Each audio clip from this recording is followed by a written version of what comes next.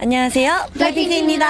지금 들리시는 저희의 새로운 음원 하율 라이크 댓이 틱톡에도 공개되었습니다. 틱톡 유저분들의 많은 사랑 부탁드릴게요.